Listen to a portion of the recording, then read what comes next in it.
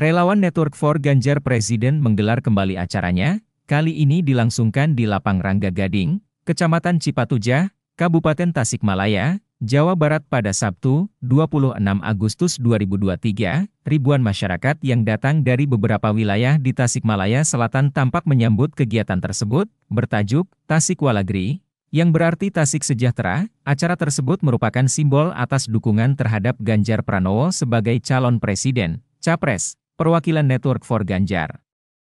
Presiden Adityarini Napitupulu mengungkapkan bahwa pihaknya tidak menyangka jika gelaran Tasik Walargi ini mendapatkan antusias yang cukup tinggi di Tasikmalaya Selatan. Adityarini juga mengatakan bahwa kegiatan tersebut bukan acara partai, bahkan terbuka untuk umum. Adityarini juga mengatakan bahwa ini merupakan bentuk gotong royong para relawan Ganjar yang diinisiasi oleh Marwarar Sirait beserta rekan-rekannya, terpisah, Ketua Pelaksana, Tasik Walagri, Demi Hamzah mengatakan bahwa kegiatan tersebut dibalut oleh agenda yang meliputi kesehatan, budaya, juga pariwisata, Demi juga menerangkan bahwa dipilihnya Kecamatan Cipatujah sebagai lokasi, Tasik Walagri, bertujuan untuk mendorong wisata, khususnya di objek-objek wisata di Tasikmalaya Selatan, hingga saat ini, tambahnya, Suara dukungan masyarakat terhadap Ganjar Pranowo di Jawa Barat cukup banyak, bahkan demi menargetkan juara untuk di wilayah Tasikmalaya ini.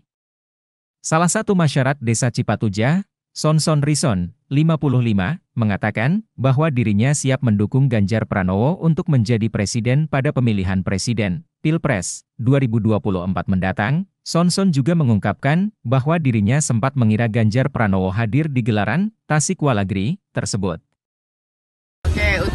rangkaiannya sendiri ini yang sekarang Kabupaten Tasik Malaya adalah yang ke-8 dan itu masih ada beberapa titik lagi seperti besok itu di Sumedang lalu di Subang juga masih ada Majalengka, Kota Bogor, Kabupaten Bogor dan juga Jakarta nanti penutupnya di awal Oktober.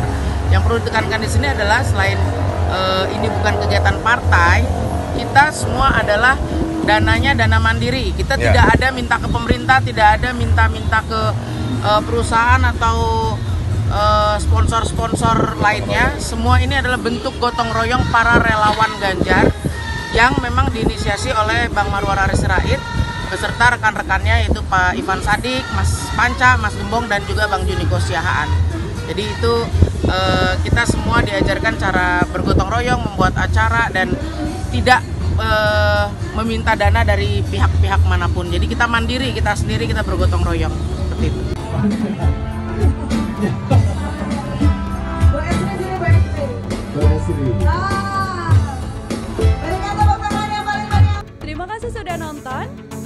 lupa like, subscribe, dan share ya.